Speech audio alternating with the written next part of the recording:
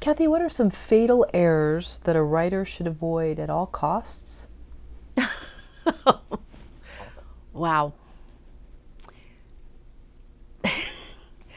I I think one of the things is that you you need to know that it's not just one script. You have to think about your whole career. That you don't just bank all your hopes on this one piece of material. You have to be working constantly, and that things don't happen just like that.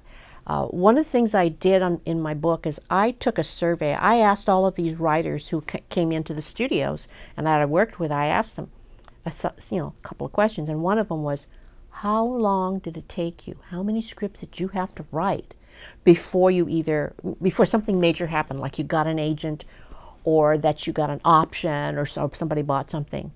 I interviewed over 200 professional writers. These are not waiter writers, these are professional writers. Only one got her script sold, the first script. Wow. And she said it took five years for her to get a second sale. Wow. Yeah. And the average actually turned out to be eight or nine. Eight or nine scripts. Scripts. Okay. Wow. So it's it's if you have to love what you do, you don't want to be a one script wonder. It doesn't happen very often where somebody only writes one script and that's it, and then nothing.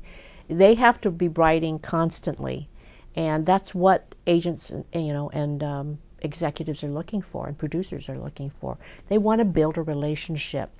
You'll notice that people like Spielberg and um, all the all the big directors, you notice they all, have the same credits, the same same people for you know uh, cinematographer, script supervisor, you know, and they go to some of the same writers because they have built a relationship with them, because they like their kind of storytelling, because their characters speak the same language that they would like to convey to you know movie viewers.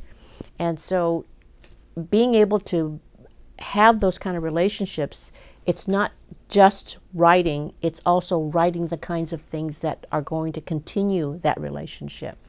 So uh, I love the fact that, that most of the writers nowadays have a better understanding of that and they when I when I see them at, at like Script Fest or Great American Pitch Fest uh, when I ask them I always ask them you know what else are you working on just to test them nowadays most of them will say that they have more than one that they're working on. So I guess it's working. I guess they are getting the getting that news that you need to have more than one piece of material